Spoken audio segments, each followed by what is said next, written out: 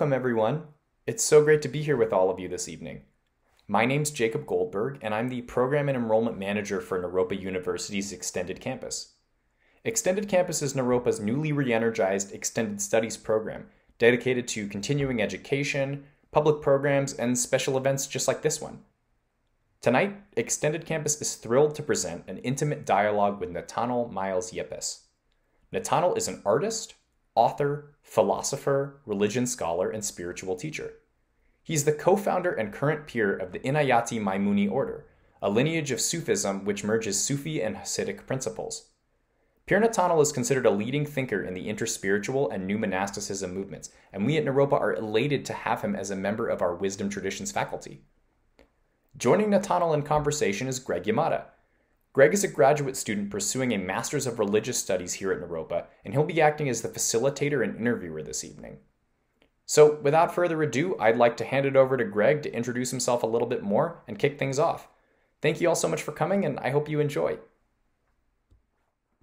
Good evening, everyone. It's lovely to to have you here. Um, I'm here with Netanel, and as Jacob said, my name is uh, Greg Yamada, and I am a grad student at the University of Naropa and I'm in the religious studies department, and I've had the uh, the honor and pleasure of having Netanel as my professor for Sufism classes and classes on Islam, and he also has been the uh, the mentor of my cohort. So I've had the benefit of his uh, guidance at my time here. But uh, the occasion for our discussion today is a book that he's published recently called The Merging of Two Oceans. And um, this book is about two of the world's great mystic traditions, Sufism and Hasidism, and the ways in which they have been in conversation and have informed each other both historically and living in the world today. So, welcome. Thank you. Let's just jump right in. Um, one of the things I love about this book is that, you know, it's both of those both of those traditions are are really known for their rich storytelling, um, both Sufism and Hasidism. And this book is full of all kinds of stories. There's historical stories, there's um, mythical stories, but there's also bi- biographical and autobiographical stories. Mm-hmm. Um, you know, you are the Pir of a Sufi lineage, the Inayati Maimuni, which Jacob mentioned, but um, that is a relatively new order and is really sort of sitting on the cusp of this merging of the two oceans and really brings together two beautiful tr- traditions. And so, um, I guess what I'd like to do to start is I'm wondering if to kind of invite everyone into the room, if you could tell a story about these two lineages and how how they sort of have interacted and been in relationship with each other over the years. Well, there's a story with which I, I begin the book, and uh, to me, it's it's the best story I know of of good friendly relationship between two two religious traditions, and it's a story that I heard from my teacher that comes from probably the 18th century, uh, and may have happened to historical persons. So the story begins in Damascus in the 18th century and involves a, a, a known personage uh, from the Jewish tradition, Rabbi Moshe Galanti. And Rabbi Moshe Galanti was a Kabbalist. Um, he would, would have been spoken of as a tzaddik, uh, a righteous person, a righteous leader. And he was also known to be a baki. And baki is a word that means an expert. And in this case, it meant that he was a highly educated man and was an expert in what were called then the seven wisdoms. Uh, I don't know if I can remember them all at this moment, like uh, grammar, rhetoric, uh, geometry, astronomy, uh, logic, music. I don't know how many I just did. Call it seven. we'll call it seven. and so he was uh, learned in all of these traditions. And in Damascus, you know, he's a Jew, uh, you know, in a kind of refugee community in a Muslim country. And he was pretty much the, the chief rabbi of Damascus, so the head of all rabbis and all congregations in Damascus at this time. And a deep mystic, um, learned in his tradition, many people came to him for answers and for prayers. And one day he was surprised to learn, kind of, you know, on the side, many members of the Jewish community were going to see a Muslim dervish for prayers for healing. In fact, he, the, he hears the rumor that if a person is, is seriously ill and they want to know whether they're going to live or whether they should, you know, God forbid, put their affairs in order and get ready for moving on, uh, they would go to see this holy dervish, as they called him. And the holy dervish would pray for them, and then he would tell them, Yes, you'll live, or No, put your affairs in order. and so Rabbi Moshe, he, he hears this, uh, this story that members of his Jewish congregation are going to see a Muslim uh, for prayers, and that and then he can actually tell them whether they'll live or die, and he's always correct. And even though it says in the Talmud that uh, Rabbi um, Hanina ben Dosa could also do such a thing, it's passes his understanding to believe that a Muslim could do the same thing. So when he hears this rumor, he's angry and wants to call the congregations together and wants to kind of rail against them from the pulpit and say, you know, how dare you go see a Muslim? You know, we're already a refugee community. We Jews have to stick together. But it's a strong Jewish legal principle that you should investigate every matter carefully before passing judgment. And so, a good man uh, Rabbi Moshe sits down at his desk, pens a very polite invitation to the holy dervish, invites him to lunch, to tea. And the dervish accepts the invitation, comes to tea, and they sit down for a little conversation. And Rabbi Moshe, a learned man, wants to see, well, what does this man know? And very quickly, he begins to to learn that the man is no, you know, kind of huckster, no charlatan. He's tremendously learned also, and a great gentleman. And so he starts to test him, and he finds that in one wisdom after another grammar, rhetoric, logic, you know, uh, astronomy, you know, all of these things he seems to know and be just as learned as Rabbi Moshe himself. In only one of the wisdoms does he seem to be deficient music. And there's an explanation for this because music has a, a difficult relationship within Islam.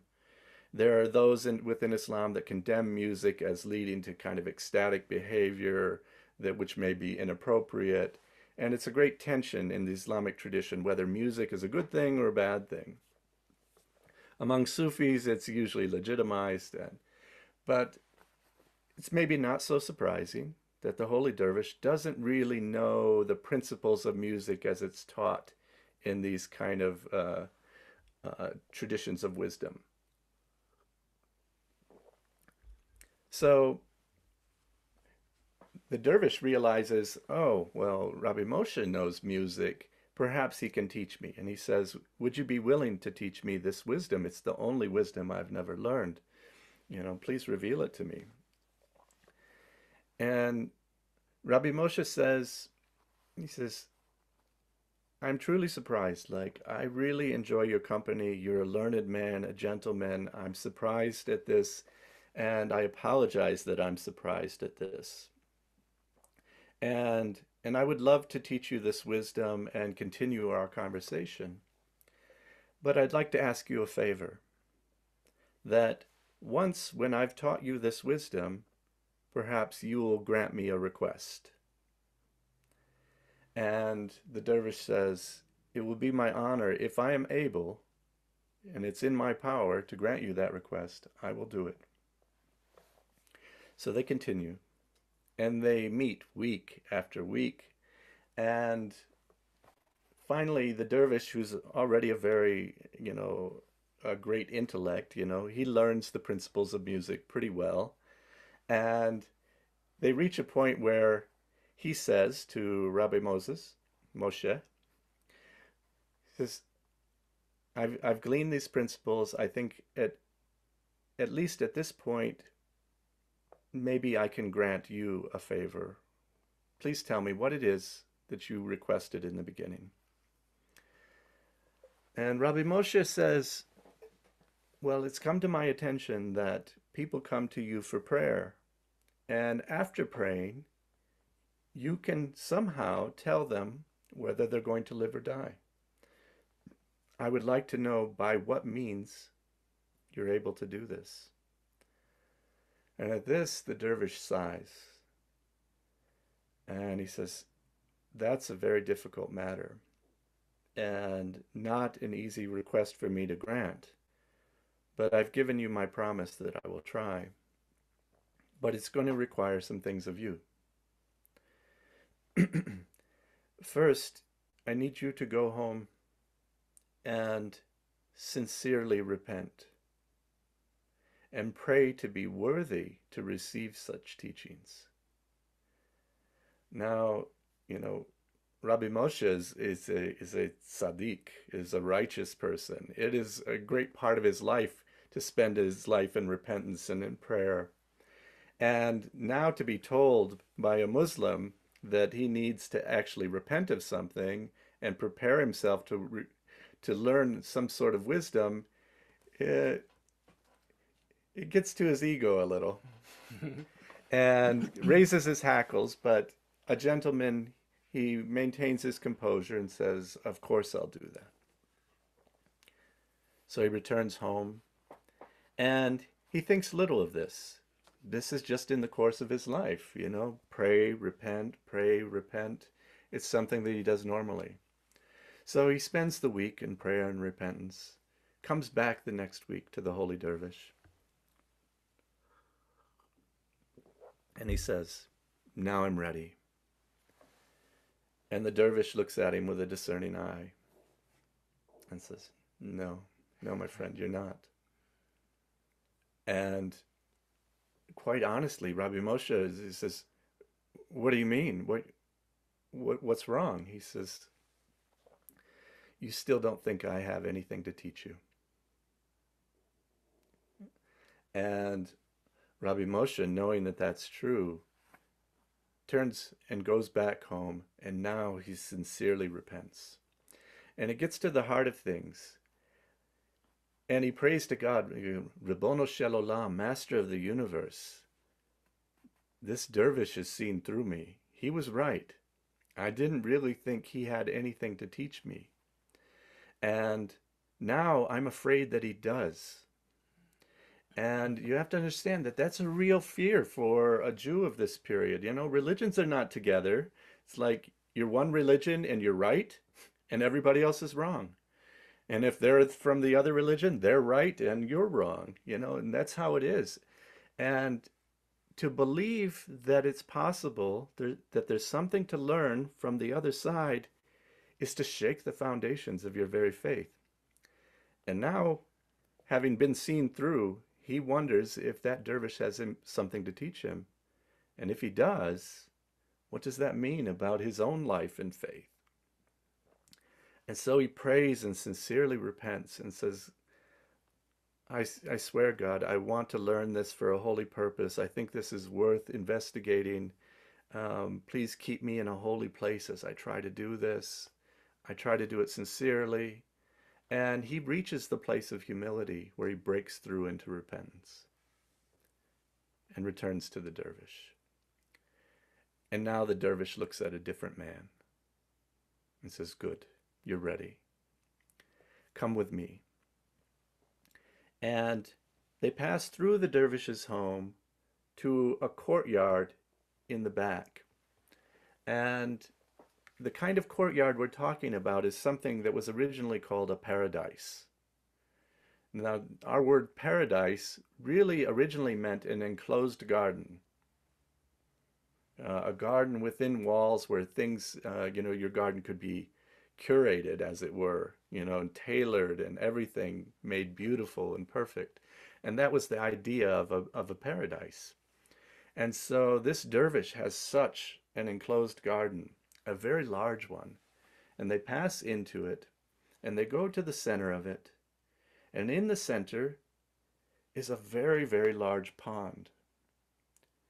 In the center of the pond is a small island and some beautiful white marble building on top of that island. And the dervish says, We're going to that island. And it's, it's a very large pond. And the, the rabbi says, How are we going to get there? He says, Come with me.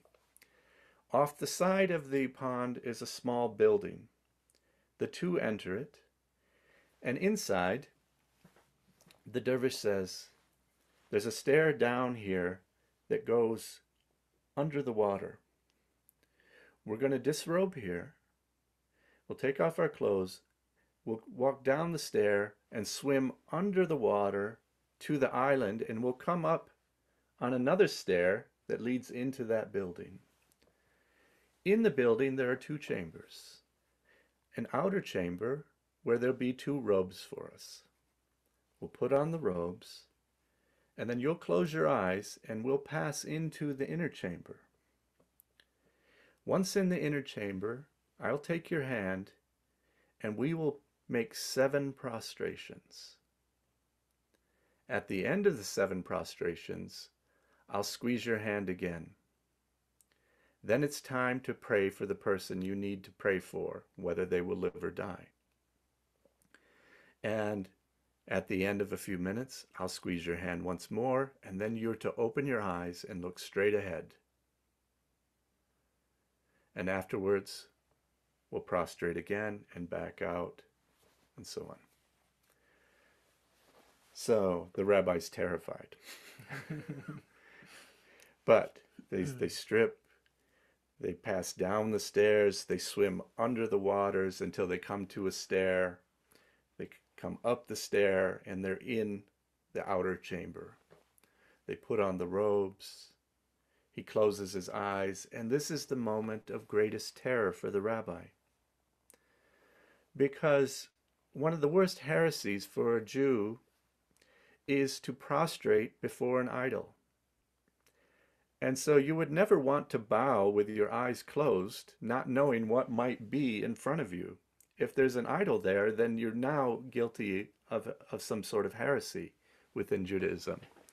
And so you don't prostrate in any place where there's a cross in the Christian world. You just don't know what's in front of you. So to bow down, to be in such a situation where he's in the hands of this dervish, is terrifying. And so as he closes his eyes, he's uh, praying almost in desperation Ribbono Shel Olam, you know, Master of the universe, please know that I'm not, I hope I'm not doing this out of arrogance. I'm really trying to learn a secret here, a mystery that I need to understand. If there's an idol in front of me, please know I have no intention of bowing to an idol.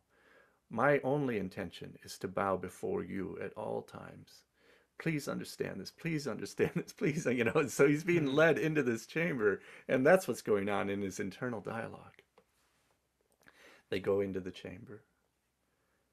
He prostrates once, twice, thrice, again and again. After the seventh prostration, the dervish squeezes his hand.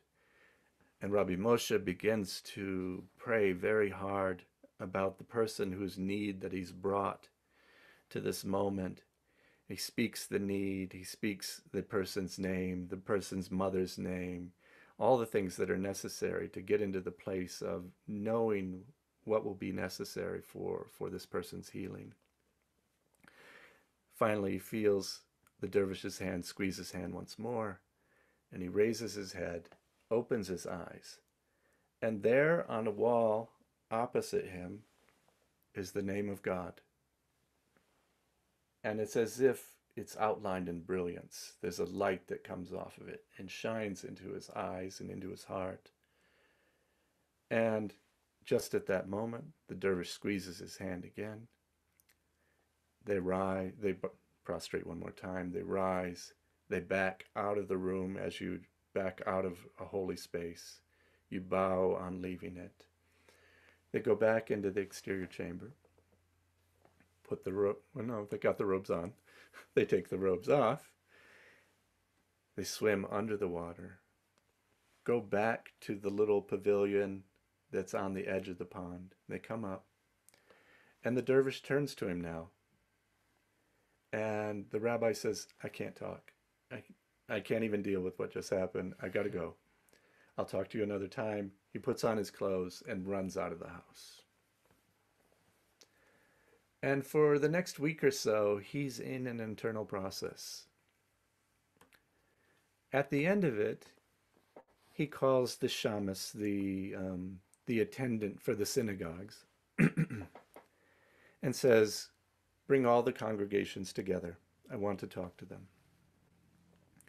And so the shamus gathers uh, all the people, you know, all the Jews of Damascus into one place where he can speak to them. And he says, I know you've all been going to see the holy dervish um, to ask for prayers. And at first I was inclined to be angry about this. But I've now met him and now investigated the matter very thoroughly. And I want to say it's all right. It's all right. You can do this. You can do this because he does something from which we can all learn. He holds the holy name in such a way, in such great sanctity, that we don't even come close to it we mention the holy name here and here again and again, and we see it in our scriptures, and it's become normal to us. But I can truly say that he honors the name better than we. And it's it's the end of the story. And the the interesting thing about the story is that such stories of positive content, you know, that are about a positive connection between two different traditions like this don't usually aren't usually allowed to survive like they don't come to our day because you know there's a competition between traditions and often the reason that they do survive is because is either because somebody's made some little change in them that makes it more acceptable, or because there's an, an um, what we might call a triumphalist assumption. The triumphalist assumption that probably allows this story to survive is that many Jews assume that the divine name written on the wall was the divine name in Hebrew. And the story doesn't say that at all, but many people tend to assume that, that on that wall would be Yod He Vav He in Hebrew. but very likely it was simply Allah, probably written in beautiful Arabic calligraphy in Alif, Lam, Lam, and Aha. And in some ways, you know, we don't know what he saw. We don't know what it meant that the, the letters were outlined in brilliance, whether that meant the person would live or die. The point of the story is not whether, you know, you know, what the flashing light meant or not, and what he understood by it, but it was that there's um, there's a way of engaging the sacred that maintains its um, well, that sacralizes the sacred. You know, everything is inherently sacred, but we profane it. And so, how do we re sacralize it? Here it was maintained in sanctity. And, and the point was that if somebody from another tradition could do that so well, it may mean that the, you know, that the truth is beyond, you know, the, the boundaries of our traditions. And and this was kind of an enlightening moment for him. And it's wonderful that this is a historical figure, you know, and it's actually not that long ago. But the possibility of true communication between traditions is so recent. It's really, um, in the way we would think about it now, it was only re- really beginning to be possible in the last hundred years, and probably especially in the last 50. And so this is a remarkable story. A long story. I, I hope not too long, but it's it's the one that I open this book with and and I see as the possibility for opening a dialogue between two traditions. Yeah, thank you. Yeah.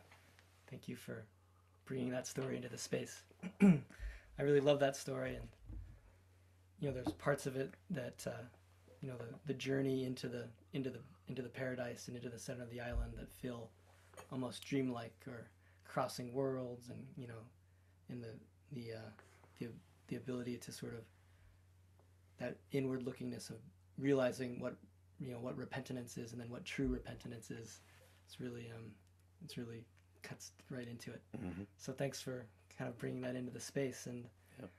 um you know as you as you share that story one of the things you mentioned just right at the end there was this idea of the, this possibility of of the traditions that we are that have that are here and that are starting to maybe become more in conversation with each other and more maybe able to see what each has to offer.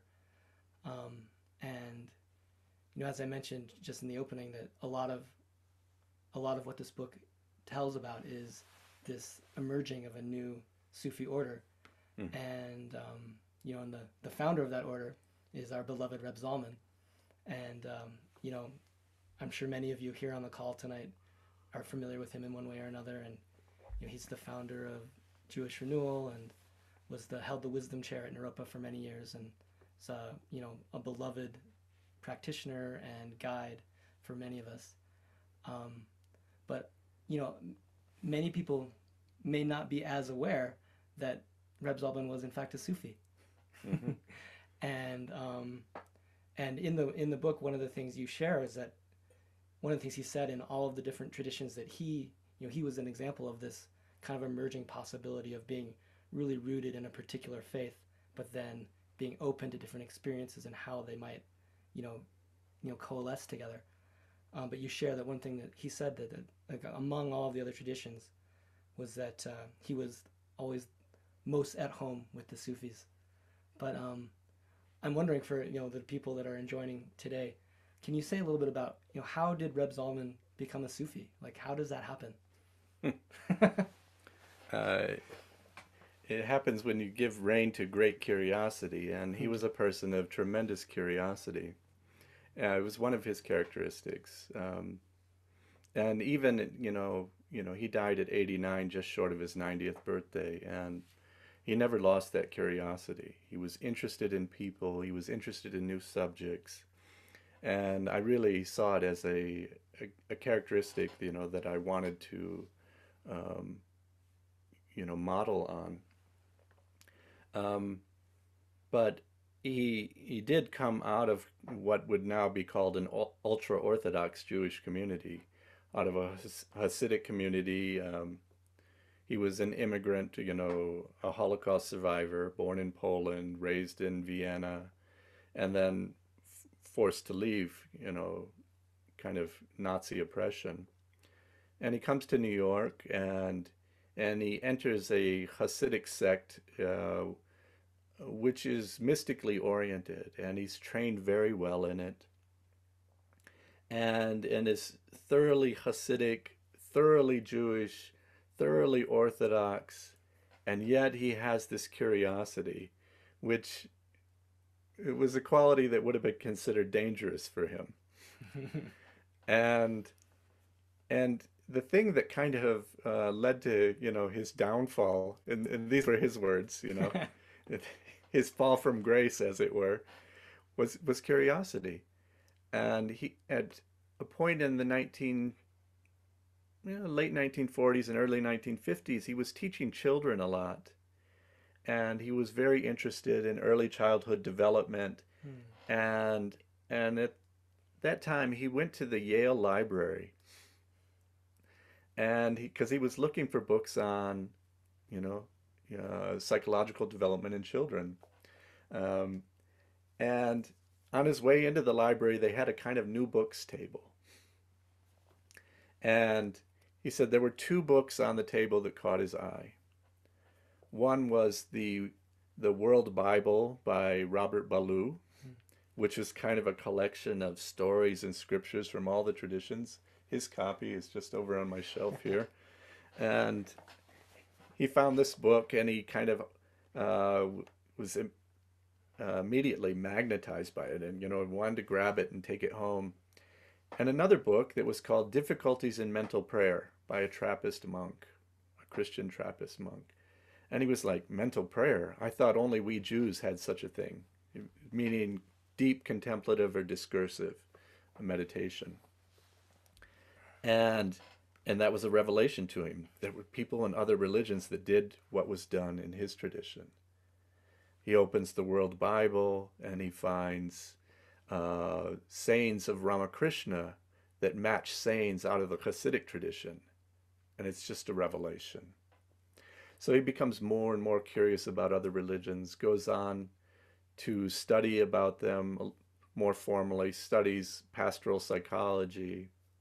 Um, among his readings, he finds Sufi readings. Hmm.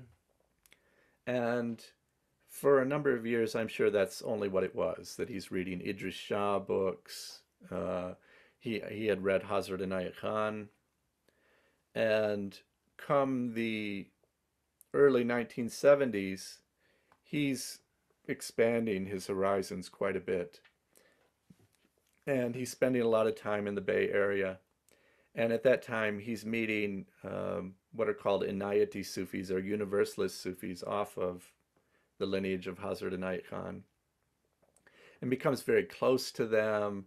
Many of them are young Jews who have left Judaism for Sufism he likes them, he likes their music, he likes their practices. And Reb was a genius. Like he, he really mastered the things that he read. He knew them very well. And so he's pretty deep into the Sufi readings and he likes these people and somehow comes to a decision that he would like to be a Sufi initiate. Now, becoming a hmm. Sufi initiate in a in a universalist Sufi order might be different than becoming one in an, an Islamic Sufi order. And that was a difference that made it possible for him. uh, because he thought he could keep his commitments as a Jew and become a universalist Sufi at the same time. And he went to um, the successor of a person that some of you will have heard of, Sufi Sam or Murshid Samuel Lewis. Um, who was one of the first American Sufi masters and who was Jewish, but he died just a couple years before, and Reb Zalman never met him. Hmm. But he met and became friends with Murshid Sam's young successor, Pir Moineddin. And he, he goes to Pir Moineddin and says, I think I'd like to be initiated. And Pir Moineddin demurs because he's probably 29 years old and Reb Zalman is probably you know 50ish at this mm. point and a, clearly a master and Pir Moineddin does not feel up to initiating somebody that's more master than he. Yeah. And so Moineddin says to him he says uh, I don't think I can initiate you. I think you need somebody that's more at your level. And he says uh, Pir Vilayat Inayat Khan is going to be coming through here pretty soon, and perhaps he can initiate you. And Pir Vilayat was the son of Hazrat Inayat Khan, who had brought the, was the original Sufi master to bring Sufism into the West.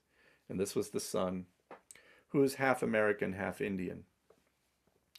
And Pir Vilayat's a little older than Reb Zalman. Uh, they're of uh, similar levels of mastery, as it were, so it's not as big a deal. So they arrange uh, a thing that has probably rarely happened in the history of religions um, uh, they arrange to do initiations across traditions. And it begins first with Reb Zalman seeking the Sufi initiation. And they meet maybe in Santa Cruz, I think. And Reb Zalman, before the initiation, goes to a mikveh to ritually immerse in water, comes out of it, and he dresses.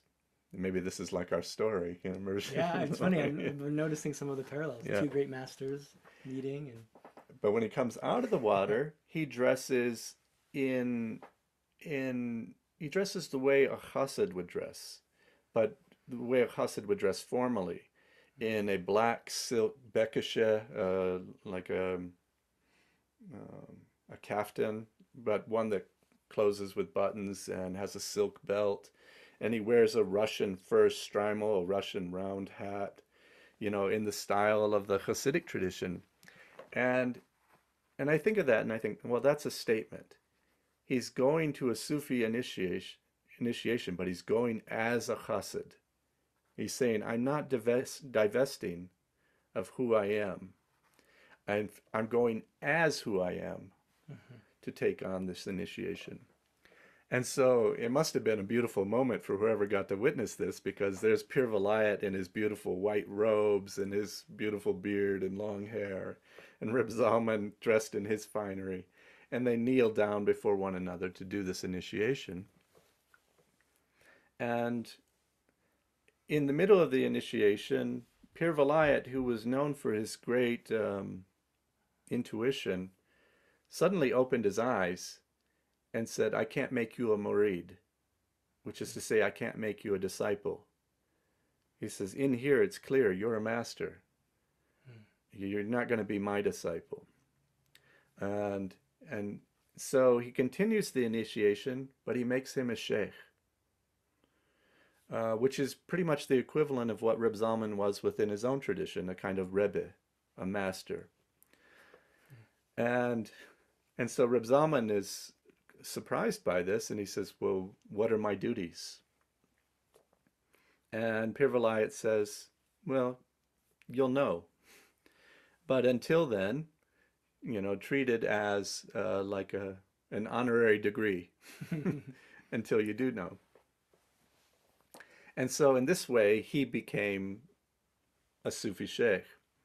Uh, after this, Pir Vilayat asked Reb Zalman for an initiation. This is a little lesser known. Even Yeah. even this story is rare, but this is even rarer story. That he asked Reb Zalman for an initiation into uh, what is called the the priestly order of Melchizedek, or Melchizedek, as some people know it. Melchizedek, the king of righteousness, a mysterious figure in the Bible, who seems to be a monotheist before Abraham and does some sort of initiation for Abraham. And and Pir Vilayat in exchange wants this initiation that seems to be held in the Jewish tradition wow, and asked for it from Reb Zalman. And about a year later, they do that initiation. Uh, this is why I, I tend to joke that I'm their love child. um, you know, it's what comes of these mixing of traditions. Yeah, Um, the last thing to add about that that story is that um, uh, it's the part that connects to me is that Reb Zalman, uh, for many years, considered himself in in Sufism an, an uncle and not a papa. That's what he'd say. I'm an uncle and not a papa, which is to mean your father, you know, a parent has has responsibility for you. Uh, whereas an uncle can just, you know, can give advice, can give candy, can give coins, but they're not responsible for you. And and so he tried to be a good uncle to Sufis for many years, and was, but he didn't want the responsibility of taking an initiate. And as far as I know, I am Reb Zalman's only initiate in Sufism. beautiful. Yeah, we'll uh, we'll come back to that. I'd like to speak on that more, but I want to say, you know, thank you for sharing that story. You know, that bringing his presence, I can feel his presence in the room with us and in the group field, and um, one of the things that was coming to me as you were speaking about it is, uh, you know, there's uh there's this there's very large, you know, spiritual but not religious movement happening, and um, and I think there's a lot of people that maybe feel maybe lost within their like traditional religious traditions, um, but you know, you're speaking to this story, and you know, so many, pretty much every world religion has like a a mystical and contemplative dimension to it. And I was I noticed I felt a little a lot of excitement actually about the things that are possible in this day and age with this kind the level of connection and communication that we have available that um, you know it there is also room for this this you know these new you know cross pollinations and experiences and sharing that can happen. And when these when these rich traditions come together in ways that where you know true practitioners who come fully as they are and then say well what more is there to be to be embraced? Like these really magical things start to happen. Hmm and so i just wanted to speak to to what i feel is like a, is like some magic and excitement around that possibility that is you know this is happening in our lifetime and is something that is maybe for the seekers of this day and age something that we can be a part of and, and bring forward in the world. Hmm yeah. And and it's it's you know people like to especially people that come from within traditions sometimes have a little judgmental attitude about where things are today like um, they kind of talk about you know spiritual but not religious or people that are exploring religions uh, you know as kind of supermarket spirituality. And there's definitely that element uh, you know and spirituality has definitely been co-opted you know by marketers and and so on. Um, and there's a lot of idea that it's all picking and choosing and that you're only picking you know the elements that taste good or that you like or that are exotic. And sometimes that criticism forgets that there were people like Reb Zalman and people like Pir Vilayat who were firmly and deeply rooted in a tradition and from the roots felt the confidence to explore and talk to one another without worry that they were going to lose something or diminish something, but they spoke from their confidence Hmm. and exchanged things very organically. And it wasn't all this process of just an immature spirituality picking and choosing, but there there are fusions that the planet wants. Mm-hmm. The planet loves diversity. Mm-hmm. You know, it loves diverse ecosystems. It likes diverse interactions. You know, we struggle against that in our s- social structures, trying to maintain what we think maintain what we think is some sort of integrity or purity. But but we know that you know from a biological standpoint, those things diminish and die. It's diversity that strengthens, and so I think there have been practitioners that work from this place, which is much healthier. Yeah, Yeah. thank you for that. Yeah. Yeah, and um, as you as you're speaking to that, you know, one of the things that you opened with was Reb Zalman's curiosity, right? And um, and his willingness to, you know, you talked about the World Bible and all these teachings that he found from these different traditions, and one of the things you you um, you talk about in the book, and that I, I thought maybe we could it might be fun to have a little taste of is that uh, you know so one of the you know you mentioned Hazrat Inayat Khan who brought Sufism to the West and started this universalist movement.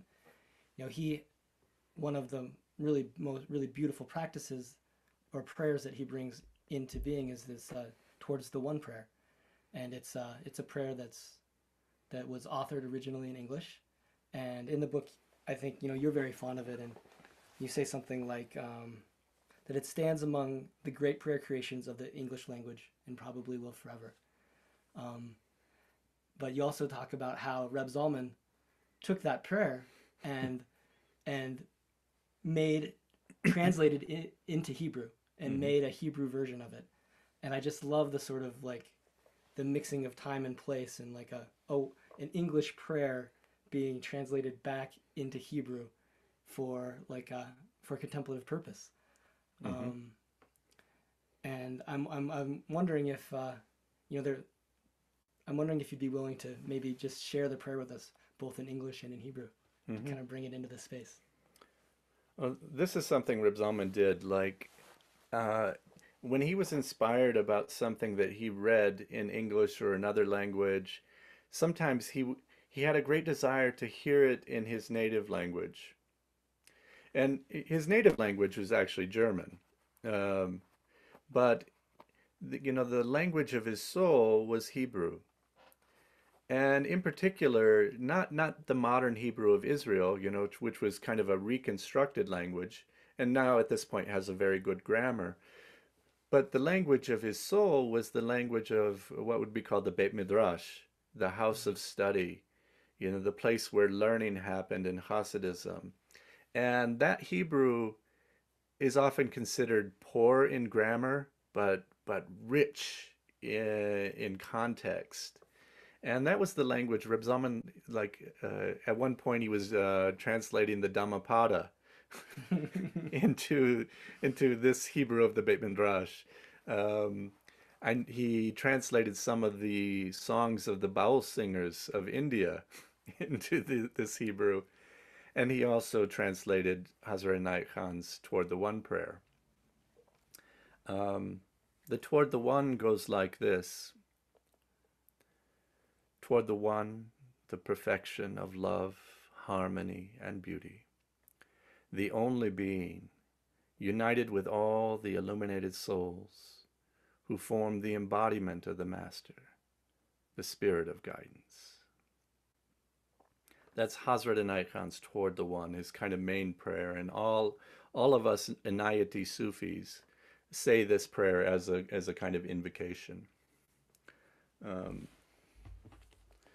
Reb Zalman translated into again the Hebrew of the Beit Midrash, in the Hebrew of learning and Hasidic texts, um, in this way. לקראת האחד, היחיד, האחד והמיוחד, שלמות האמת, הצדק והתפארת, הנמצא היחיד, הכל על כל הנשמות הנארות, יוצרי הגשמת הרבי, הרוח הקודש. Now, the interesting thing about that is that it really is a, a little bit clunky Hebrew, but it's on purpose. It's Hebrew that has reference in Hasidism. The other thing that's interesting is it doesn't quite say toward the one, the perfection of love, harmony, and beauty, the only being united with all the illuminated souls, etc. If you were to translate it back into English from now the Hebrew, it would say something like this. Likrat ha'echad is toward the one. That's still the same. But then he added a line, unique, alone, unified. Because in Hebrew, you got to make sure that you're making the point that this is about non dualism. And the toward the one wasn't quite doing it for Reb Zalman. So he chose a line that had some reference in the Hasidic and Kabbalistic tradition, and then adapted it a little bit. And that's the line that says, Hayachid, Haichad, V'cham unique, alone, unified. So it's toward the one, unique, alone, unified, the completion of truth, righteousness, and beauty, the only one in existence, who contains all the illuminated souls, forming the actualization of the Master, the Spirit of holiness, Ruach HaKodesh, the Spirit of holiness, instead of uh, why, why is it going out of my head? I know this prayer my whole life. The spirit of guidance. Uh, the spirit of guidance in you know in Judaism would be Ruach Hakodesh, the Holy Spirit that comes and, and offers wisdom. Mm-hmm. So those are the two prayers, maybe three prayers, you know, Yeah, right. coming from the English into the Hebrew and then translated back. It's a little different. I love that, and I love just the. Like you said, the I, I'm forgetting the. There's a term that you use that is just sort of like the, the power behind it or the, the mysticism behind it, and it feels like you know each version holds its own kind of container of the sacred with it, and has like a different experience in connection to it. hmm Yeah. Yeah, so thank you. Thank you so much. Um, you know, I, I'm uh, I'm really kind of appreciating this thread of of this emerging Inayati my new my Maimuni lineage, and um, you know, you said you know Reb Zalman was he was initiated as a sheikh, as a master, but it was more of an honorific, you know, until he knew what to do with it. It was an honorific term, but um, but you know, at some point, you know, he said, "I'm an uncle and not a papa," and I I, I love that I love Mhm. that sort of way of thinking about it. But uh, you know, at some point, he did he did become a papa. Yeah. And you know, in in the book, you you tell you know you yourself was a were a, a student at Naropa, Mhm. and um, you know you shared that I know you're at the University of Michigan studying religion, right? Michigan State. Michigan State. Yep. And um, with some background in, in Hinduism, which we share. Mm-hmm. But uh, you know, you, you came to Naropa primarily to study with Reb Zalman, but along the way you picked up Buddhism, and um, you know were deeply interested in many different contemplative practices and traditions. But um, you know, Sufism wasn't exactly in your in your ballpark, right? Nope. And um, but you, you share a story of as you're coming to the ti the end of your time at Naropa, and you're tr- trying to think about you know where would you be going next and what direction that you might have. That was like a an important meeting that you had with Reb Zalman, and wondering if you would share that story with us. Mm -hmm. Yeah, so like Greg said, I was at Michigan State University and I was a student of history of religions and pretty serious student. But I was kind of reaching that that that point inside, actually almost a crisis, where uh, there was a realization that I was becoming an academic.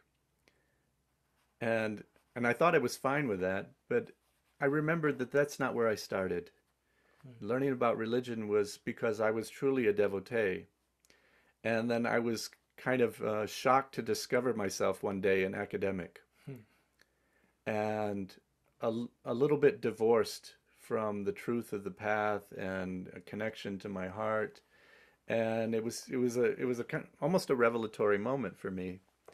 And and I shifted my orientation, asking the question, no, I'm tired of reading about where does the real thing exist? And even more how can i become that thing? And and it was like and i'm tired of reading about spiritual masters. Where does one exist you know as i would have phrased it then you know enough about martin buber or abraham joshua heschel where where is such a person now and and i had remembered that i had maybe a year before come across an article in an old journal from 1960 by a Rabbi Zalman Schachter. Uh, and there was, a, I think, even a picture of him in a black hat, you know, full beard, and he was at that time an Orthodox Chassid, um, you know, in 1960. But somehow that name came back into my head, and and I, you know, I went to my computer, and in those days it was probably like Alta Vista or something, you know, that I, you know there was Google wasn't the thing, and I looked up, you know, Zalman Schachter, and I discovered that he was no longer, you know, contained within this narrow, uh, this narrow world, but he was now a, a well-known figure and uh, a heretic to some, you know, an inspiration to others. And he was then occupying a position called the World Wisdom Chair at Naropa, what was then the Naropa Institute. And he had the World Wisdom Chair. And and I just knew that's where I had to go. And of course, I had to convince my then wife. um, and I also had the, the feeling like um, uh, this was a, a major shift in trajectory for me because I was then on the path to becoming, you know, professor of religion somewhere. I am that now, but uh, I had to come back to it in a way by making this choice. This was not the trajectory to becoming professor of religion. uh, but I, I knew I had to meet this person. And so I came to Naropa and entered the Indo Tibetan Buddhist Studies master's program because I was a student of history of religions and I hadn't really studied Buddhism very thoroughly to that point. So that was the excuse that I would enter this program, study Buddhism, but my real purpose was to meet the World Wisdom Chair holder. and um, and uh, Reb Zalman's offices used to be in what are now the, what is now the um, you know the schoolhouse building, and now now there's a classroom. If you come in toward the stairs and you go to the left, there are two classrooms. The second classroom used to be a set of offices, and his office was in there. And um, maybe in the first week after he'd had us write some reflection papers, I walked into the building and he came out of his office at the same time I walked in the building and he pointed at me. And I don't know how he knew who I was because it was the first week of classes and I hadn't even introduced myself. And he went like this. and I stepped into his office and he said, I want to talk to you about your paper. But I don't know how he knew my paper was connected to this face. um, and from that day, he kept me a little closer.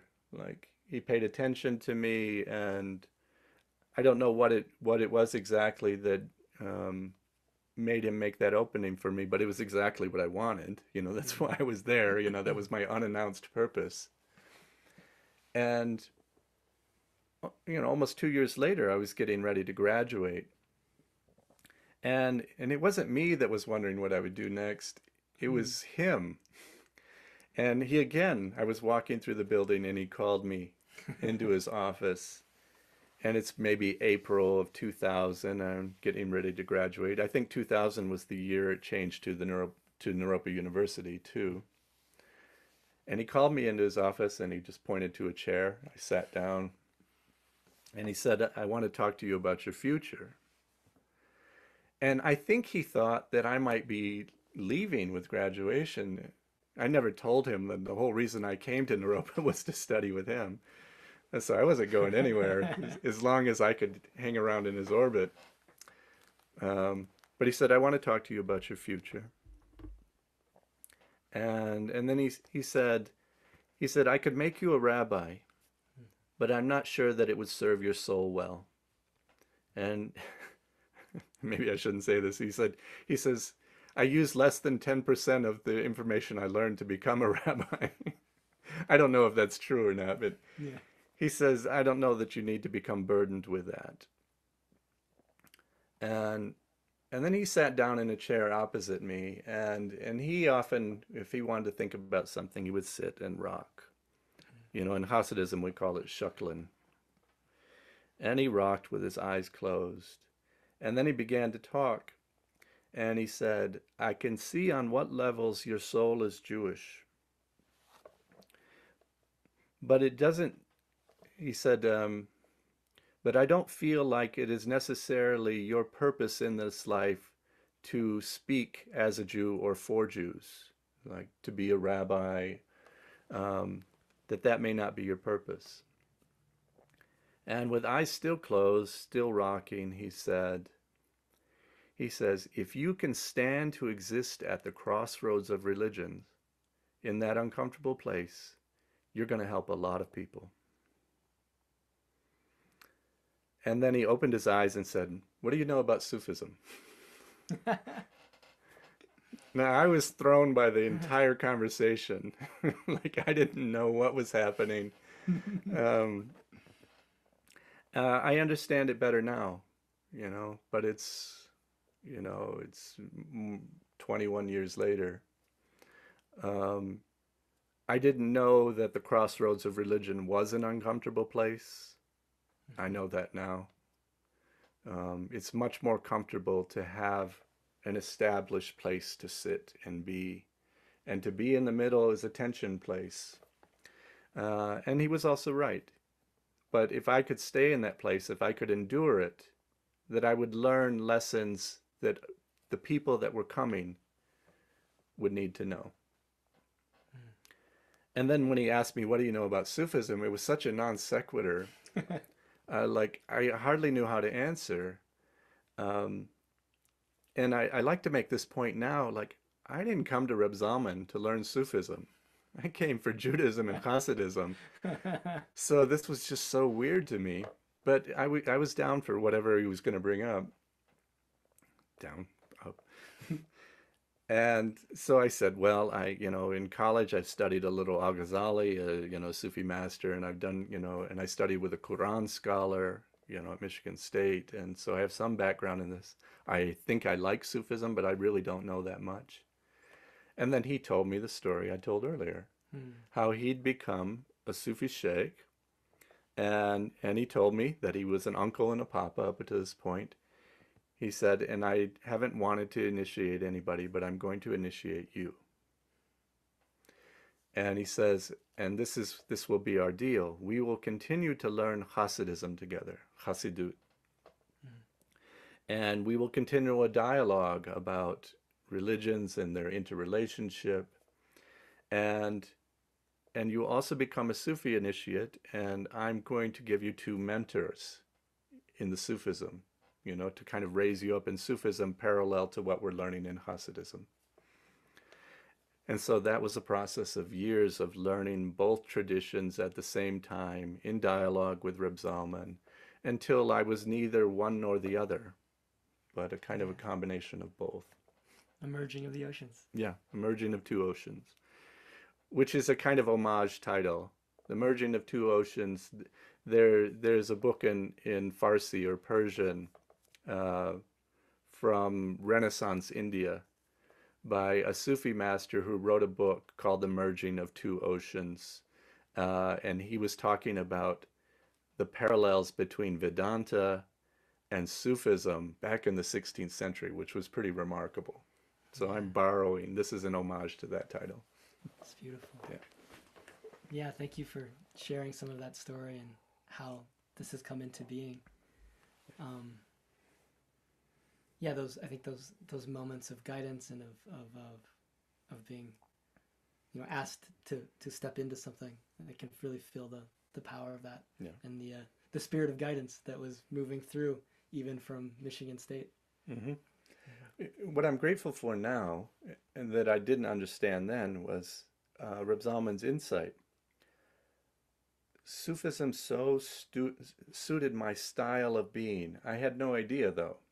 Yeah. Uh, uh, I have an equal love of Hasidism, but somehow my style of presentation is somehow a little more oriented Sufi. And so it was remarkable insight uh, that I wasn't really ab- able to appreciate for more than a decade. And really, it was actually only after he died that I really came into full appreciation of the that insight from 2000. Yeah. Yeah. Yeah, and uh, you know that in that time, sort of to to integrate and acclimate and you know experiment. You know, one of the you know one of the, the things you go on to talk about as you continue that story in the book is that you know after after he gave you your initiation and then as you continued at some point you know you you gave your first initiations and that sort of um, sort of raised this question as to like well you know, Reb Zalman was was initiated as a sheikh, but more of as an honorary thing. But now all of a sudden there's this thing that's emerging, and you know what is that? And then you know the the international order, you know, gets wind of these initiations that are happening, and all of a sudden there's like some questions around, you know, what what is happening? Yeah. And um, yeah, uh, You want me to yeah, you want to talk about it a little bit? Sure. Um, yeah, so I caused a little trouble. Um, after a few years with Reb Zalman, he began, you know, when I met Reb Zalman, he was 74, and he was already kind of not taking students anymore. And so I'm really among his youngest students. Um, many of the senior students were 20 to 30 years older than me. And, and so I was always kind of this, you know, you know, very young man among the pack of older students. And uh, and yet he moved me along kind of quickly, more quickly than I was comfortable with.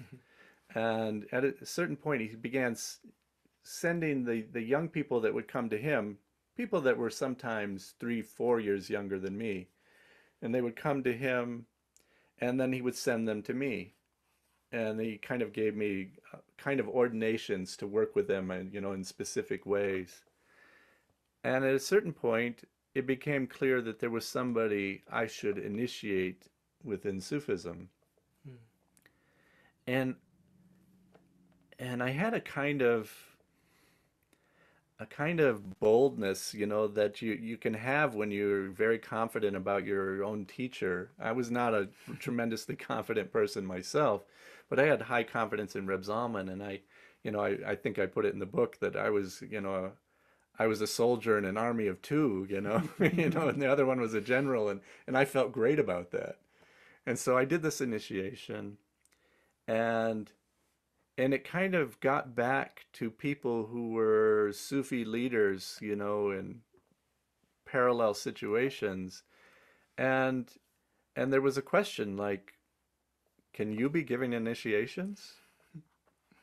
And and you know, and and I was literally questioned about it, and I thought, well, yeah, I think so. Um, and and I said, I have the trust of my teacher. I don't know what other authority to recognize. If my teacher says I can do it, then I think I can do it. And, you know, and it was a little bit put to me that, uh, well, Zalman Schachter can do a lot of things that other people can't do. but of course, you're not Zalman Schachter. and, um, and it was a little bit like that. And I thought, well, okay, I, I get that. And and somewhat implicit was, what am I teaching? Sufism or Hasidism or some sort of fusion? And by what right? And so I went back to Reb Zalman and I said, I think I got us in trouble. and he says, eh, no, don't worry about it.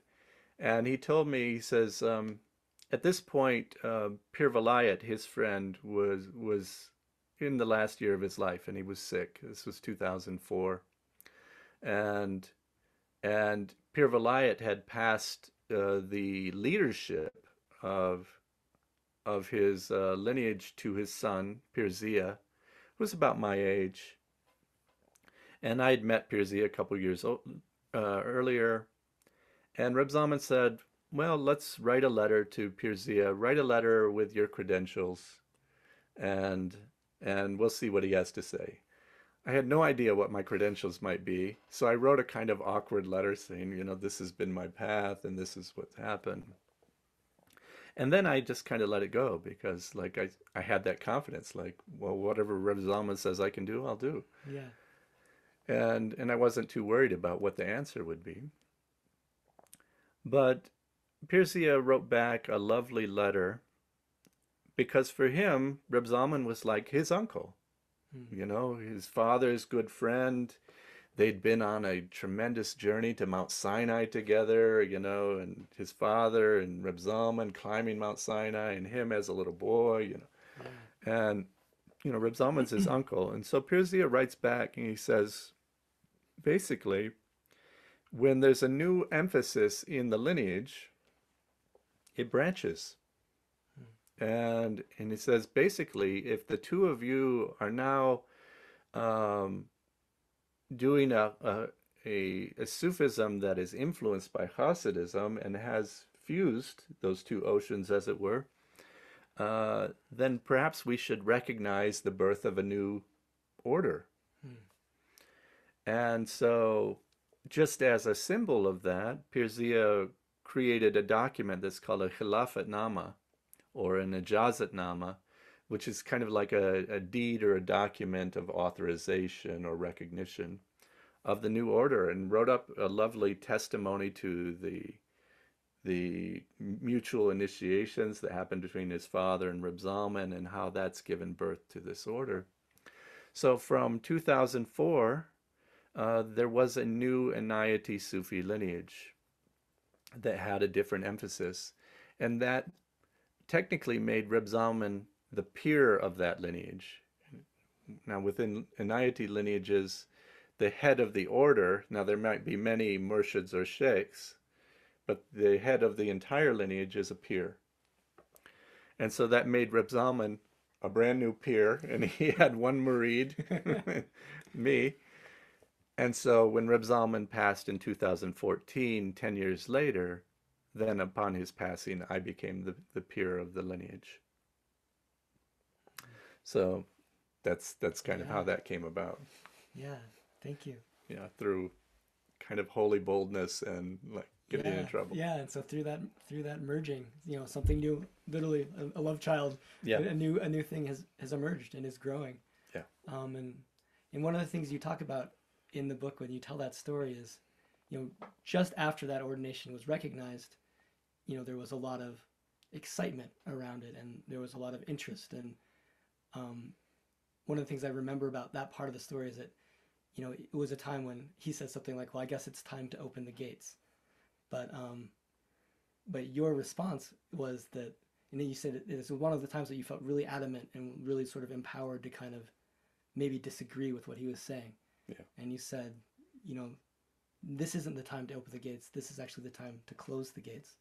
And I'm wondering if you can say a little bit about, you know, why you did that and what it was like to sort of stand Yeah. in that spot of like, I have a my own understanding of what needs to happen here. if there's anybody out there listening who was Sufi and Jewish at that time that was very excited about a new Sufi Jewish order, Sufi Hasidic order, it's my fault. I'm the one to blame that, you know, something didn't happen at that time. So, yeah, it did that the creation of an order, it's not as if it didn't exist. There was already lineage once Reb Zalman had uh, made me his, um, in Sufi terms, his successor, his, his uh, Khalifa. Um, that was already happening, but when it when it became an, a kind of an event that there was, you know, this kind of formal recognition, then it was a bigger deal. You know, the people, you know, like holy gossip that's out there. People hear about it, and of course, from the mid '60s on, many disaffected Jews, you know, who had left Judaism and become Sufis, saw this as a way uh, of saying, "Oh, there's a there's a legitimate this you know there's a legitimacy to doing this." And and some of the thought was, "Oh, well, we could go become part of that order."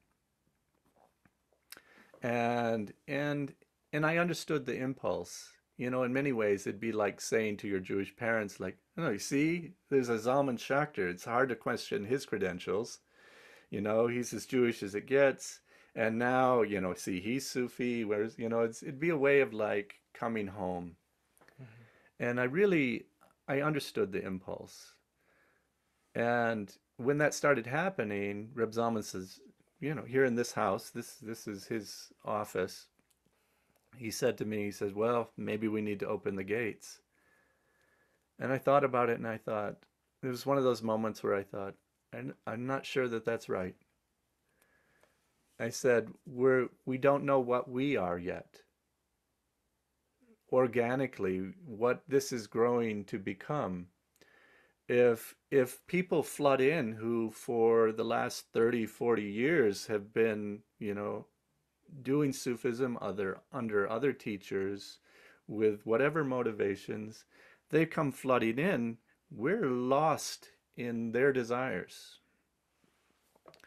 And and while I recognize those desires, we'll, we're going to lose the opportunity of discovering what our particular, in Sufi terms, what our particular meshreb is, what our character is. We don't know what this means. What what is this fusion about? And I said, I really think maybe we should close the, close the gates for a while and do R and D, you know, research and development and test things out, practice together, you know, figure out how this feels inside, what teachings work together. And uh, so, if it's any of you that I disappointed, it was me. and that went on for about 10 years. Really, the gates were mostly closed. And really, yeah, to the end of his life. Yeah. And, and, and by then I had a good sense of what things were. Yeah. Yes, Yeah, you know, that's true. um, and it, it feels to me like as I was reading, as I've been reading this book and sitting with it, you know, and, and maybe it's it's a question I want to ask, but it, it feels like, you know, you're maybe more seated in who you are and what this lineage wants to be. And I'm curious, like, how are the gates now? Hmm. Well, I think when Reb, Reb Zalman was alive, we put a lot more emphasis on. Uh, well, well, let me say something. There's a there's a question in in the Q and A that's about you know what's the difference between Universalist Sufism and Islamic Sufism, and I'll try to do this rather quickly here. Yeah. Um, but when Hazrat Inayat Khan brought Sufism into the West, it was a question for him: Do I need you know, it's like, do they have to become Muslims to become Sufis? Hmm. And that didn't seem right to him. And so, in addressing a new audience, he realized, oh, Sufism is 1400 years old. It has a body of traditions. It's a, it's a technology unto itself. It could be applied to your Christianity, to your Judaism, etc. And just just in doing that, a kind of universalist Sufism was born, where the Sufism became a tradition unto itself that could be applied. And so, you know, one of the ways that Reb Zalman and I addressed the question in the beginning was looking at ways um, people could practice their Judaism in a Sufi manner. You know, in the style of a Sufi and some of the structures of Sufism but using Jewish teaching just the way Islam might be used. And, and we did that for a number of years and looked at uh, different practices and did them together. Um, for myself, later on, after he was gone, it was clear that my emphasis was a little different. Mine, the hyphen between, you know, it was not so much Sufi, Sufi Judaism, but it was Sufi Hasidism. The hyphen connected these two esoteric lineages, mm-hmm. and that's been my um, my my meshrab. You know, is how do we combine in, in a very organic manner, um, you know, the magisteria of both traditions. You know, so that we have a greater um, toolkit and teaching kit and uh, and recognizing the differences and, and the authentic you know, ways those traditions are held, but uh, benefiting from both. Mm. So I think that's been the yeah. way of it for me. Yeah, thank you. And yep. for those of you that are maybe interested in in picking this book up and giving it a read, you know there there are chapters in there when we don't we probably don't have time to talk about it today, but you know there, where you talk about practices that combine the holy names of Allah with the Sefirot and um, you know some historical um, investigation and then um, I want to say maybe like divination or realization of you know ancient you know um, Jewish practices of zikr mm-hmm. and how those might have been done in uh, in particular cultures and settings and so yeah. there's a lot of rich sort of practice oriented material in this book as well um, but uh, we're we're getting close. But there's just one other thing I want to speak to, and you you brought it up. You know, standing at the crossroads of inner spirituality, and um, one of the things you mentioned is that one of the reasons that Reb Zalman actually wanted to take initiation as a Sufi was this idea of of shirag, which is like of, of being like a, a more universal priest, and that being being a Sufi actually gave him more freedom to um, interact with people that were not maybe not necessarily Jewish. Um, but yeah, so you you are standing at the crossroads, and you there's this new new lineage that's emerging, but you're also very much involved in inner spirituality in general, and you know you have a foundation that you're a part of, Charis Foundation, and I'm just curious with these last few minutes if you'd like to just share a little bit about how you see both inner spirituality and and I guess you know and grounded spirituality how you see those things you know moving forward in the future. Hmm. well I think you know the example that we've given the merging of two oceans and and looking at how two traditions can come together organically not as a not as like a Frankenstein, you know, you know, sort of experiment. You know, what things can we sew together to make a, a super person?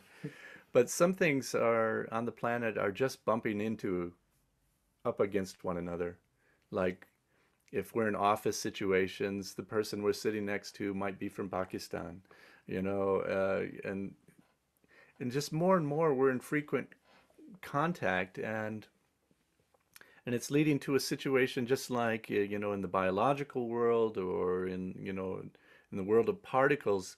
Particles are bumping up against one another they're exchanging electrons you know new chemical bonds are formed you know and that that's happening with religions and this is just one example that there's a there's a hyphen that's now connecting two things. And and increasingly we're becoming increasingly hyphenated. Like uh, a dedicated christian might also be a jungian therapist you know uh, a scientist who is otherwise an atheist might have a very sincere yoga practice. And it's just we're connecting all of these things and i think that kind of mortise and tenon construction in religions is going to continue and sometimes when I say that, people are afraid that you know our our historical traditions are going to disappear. I'm not saying that at all. I'm a great lover of those traditions, but they are going to continue to evolve. And I really feel that this kind of construct of increasing hyphenization is going to go in directions that we can hardly imagine and will continue. And and you know you know, we say, you know, sometimes in Judaism we talk about, you know, uh, meeting in the house of prayer for all peoples. Uh, hopefully, that's what's being built mm. over time through this kind of increasing connection. It's, it also increases the surface tension. Between our traditions, but that's something to get worked out, you know. Beautiful. Yeah. Thank you. Yeah. I think we're um, we're getting close to our time. I want to thank you for this opportunity to just bring your story and this book into the room and really bring it to life. Um, and I, I was I wanted to ask if you'd be willing to to close with a blessing. Um, there's a a lovely part of that story you were talking about when when Reb Zalman was speaking to you about your future, and then or maybe I think it was after maybe after one of your ordinations, he was kind of speaking to you about you know the duties of of being a, a Pir or a spiritual leader and and just this idea that the blessings are above and waiting to be called down. And i feel like this has been a very blessed evening and i, I would love if you could call down some blessings for us to close. It's something reb zalman would have done even at a talk at naropa and he might have ended the evening saying talking about blessings and he was very serious about this that uh, he's, he says we often think of, you know, that there's somebody that's qualified to bless, you know, or somebody that has blessings to give. And he says that's not really the way of it. He says that uh, people are conduits of blessing, that blessing is something that is waiting above, you know, in you know, in the body of the universe, which is, you know, a mother's body. And and when the mother has a child and and the child cries, the milk that's in the breast lets. But it only lets in response to the cry of the child. And he says it's a lot like that, that blessings are waiting. And and it's it's our cry that creates the letting of the milk of you know blessing. And he says but don't, there's nobody to wait for. You know one aspect is crying. The other aspect is realizing that the the blessing is waiting to be channeled down and there's nobody to be responsible for it but you that we can all become vehicles of blessing and have to take responsibility for that of crying at the right time, but also crying for others. And and there's nobody to come save them. but you. There's nobody to wish them well but you. There's nobody to channel that blessing but you. And so, you know, at a point like this, he would encourage us all to become vehicles of that grace and that blessing and to uh, become empowered to be blessers. And sometimes quiet blessers. You don't need any credit for it. Sometimes it's putting a hand on the back of a friend in a moment of need where words are not going to help, but standing with them and internally touching that place of kavana intentionality where you want to direct your best wishes for them. You're wishing them everything that they might need. And sometimes that's the only help you can offer. But we have to take responsibility for doing that. And so it's not so much my blessing, except to become the channel of this teaching that we can all close our eyes for a moment and reach above and channel down and direct some blessing somewhere to some place that we think it's important that needs a moment of grace, a person that needs such grace.